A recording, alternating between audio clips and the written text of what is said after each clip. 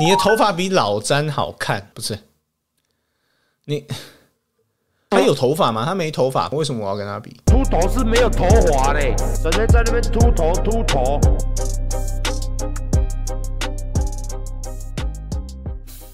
最失望跟最超出期待，东区我觉得应该是暴龙。直到现在，我都不懂为什么暴龙打不出来。要侧翼海有侧翼海，要潜力球员有潜力球员。Scotty Barnes 号称自字母哥之后最有潜力的明日之星。然后你说他要控卫，难道没有控卫吗？Fred and Fleet Gary Trent Jr. 这个防守算香吧？延伸型的常人，又有火锅的 Chris Boucher，全明星等级的球员 Pascal Siakam。就你想不透，就说这支球队为什么打到现在战绩排名东区十二？所以如果最失望的话，我觉得会是他了。身为尼克迷，觉得这季尼克很强，GM 觉得他们能走多远呢？一轮游，抱歉，这就接下来我要讲的嘛。最超出期待值的一定是尼克东区这边，绝对要给他这个 respect。可是抱歉呐，以 Julius Randle、RJ Barrett 跟 Jalen Brunson 为主要核心的这支球队，你要我怎么看？好他，没错，他是最超出期待的。他跟溜马，我觉得都可以算进去。但是尼克队这边真的，我只能说一轮游。那溜马这边我已经吹了他们很多次了嘛，所以我也就不吹了。溜马队开季前有谁？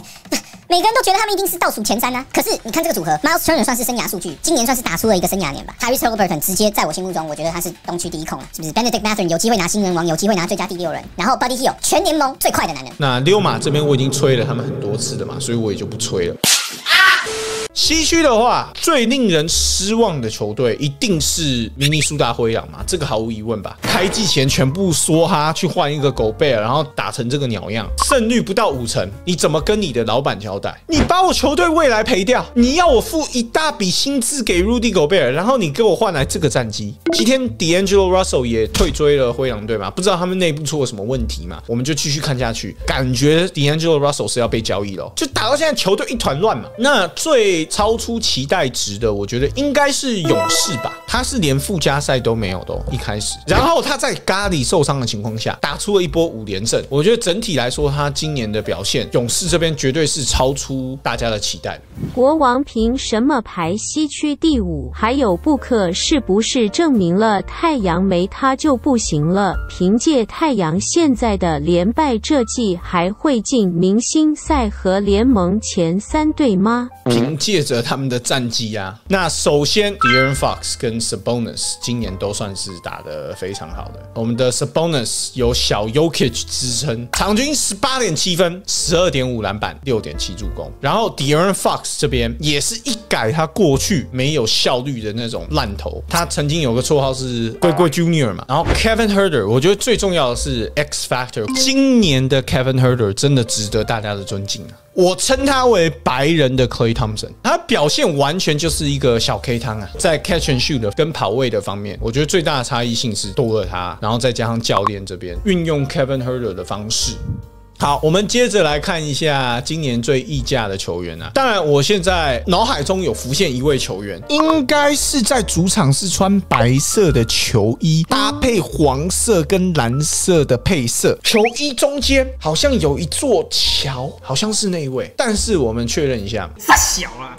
但是在凑勇士这一位之前，我们要意识到一件事情：实际上，破今年的合约还是物超所值的。他的合约是明年才启动，单就今年他的表现跟他领的钱，他还是物超所值的球员。所以，我们还是站在破这边帮他讲一下话。没错，他未来是有非常大的一笔合约在等着他的。可是今年以他的表现来讲，他还是一个物超所值的球员。好，那我们接着来看去年休赛季的球员嘛，有哪些是溢价的？诶，好像 Zach Levine 的合约也可以算进去吧？我不认为 Zach Levine 今年的表现值得三千七百万，最溢价的绝对是 Zach Levine。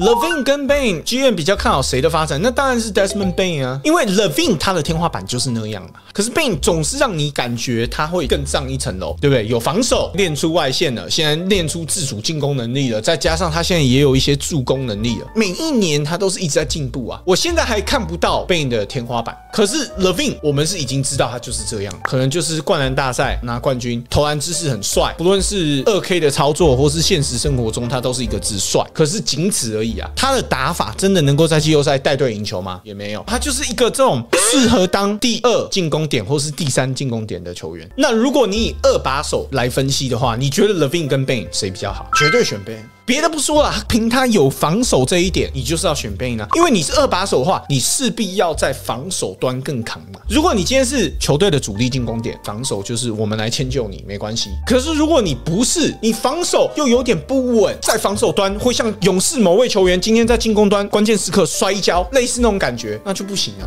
那就不行。你们都逼我啊！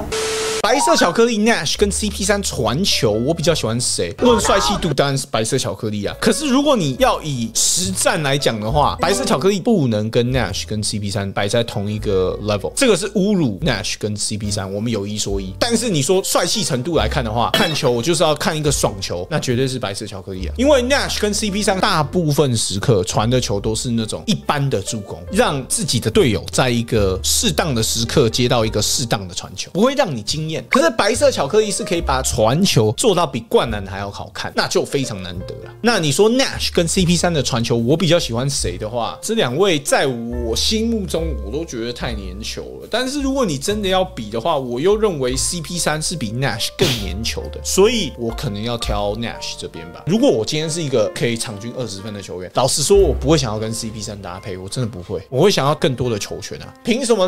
二十四秒进攻，二十秒都是你在运球，我会这种感觉啊。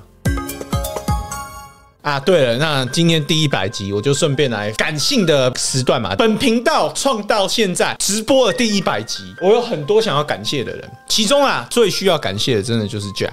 没有他，我不会这么的积极的走到目前。在认识他的当下，我还是主要以写稿片为主嘛。跟他一起直播之后，然后剪直播精华之后，我才慢慢的就是多出了一些这种面对镜头的影片，然后我的出片率什么的也大大的提升。这一路上面有很多人啊，有一个人需要感谢啊，其实大家都不知道，因为我常常在说我家片师多屌有多屌，但是实际上介绍我家片师威霆给我的是诺斯，所以这边还是要感谢一下诺斯啊，没有当初诺斯的介绍，就不会有后来的片师，没有这位片师，也不会有后面的这些好帮手们，所以整个逻辑是这样，真的是要好好感谢一下。那当然啦，那些跟我一起合作拍片的伙伴，自然是不用讲了，红酷啊、石恩啊、鸡腿啊、阿勋啊、小胡啊，他们都是真的帮助这个频道很多啦。一路上来讲的话。因为上面的那个广告是要不要跟他一边出去？是啊。还有什么？你干嘛这边露出个脸来？要感谢你哦，感谢你这种东西不用多说了吧？我为了谢谢你，我都已经对不对？跟你私定终身了，这还不够吗？你赚到哎！我刚在回头呢，我刚聊的难道不是回头呢？是没被打过是不是啊？我从不欺负花小编。下一句。